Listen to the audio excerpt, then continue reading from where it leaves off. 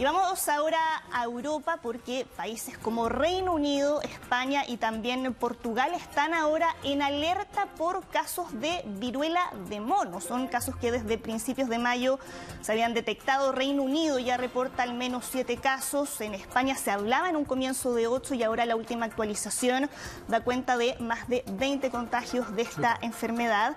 Y aquí se teme que haya propagación comunitaria porque en el caso de Reino Unido el, el primer primer contagio que se había detectado había sido de un paciente que había viajado a Nigeria. En ese país esta enfermedad es una enfermedad endémica, no es el caso en el Reino Unido y es por eso que el resto de los contagios, que fueron contagios locales, eh, da pie como ya eh, para empezar a hablar de eh, un contagio comunitario. Desde la Organización Mundial de la Salud han dicho que están ahora en contacto con las respectivas agencias de salud de ambos países para poder recabar más información y ayudar a detectar bien de dónde proviene el origen. Ahora, el eh, contagio de esta enfermedad tampoco es fácil y el riesgo es bajo.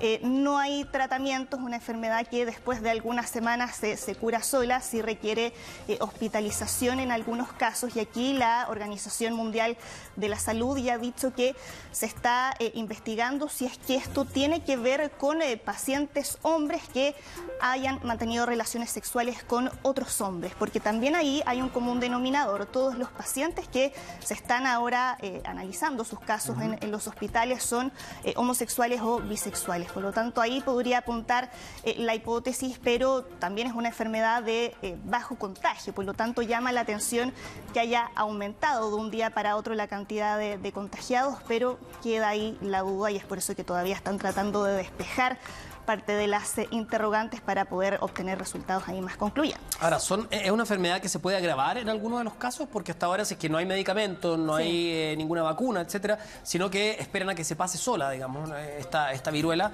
no debería ser una enfermedad mortal. No debería ser una enfermedad mortal. Eh, los síntomas son fiebre, dolor de espalda, dolor muscular y otros síntomas también que son más molestos como la aparición de erupciones cutáneas, que eso después van eh, generando costras y si es que hay otras personas que eh, podrían estar cerca de eh, personas contagiadas y que respiran parte de lo que dejan después esas costras, eso puede dar pie a contagios. la forma de contagiarse es a través de los fluidos o de la respiración, pero por el momento no se ha detectado ningún caso grave y ahí es que hacen este llamado a la calma, pero sí como es una enfermedad que es poco usual en esa zona, es lo que ha puesto ahí la voz de alerta y que están ahora tratando de despejar bien de qué manera se produjeron estos contagios.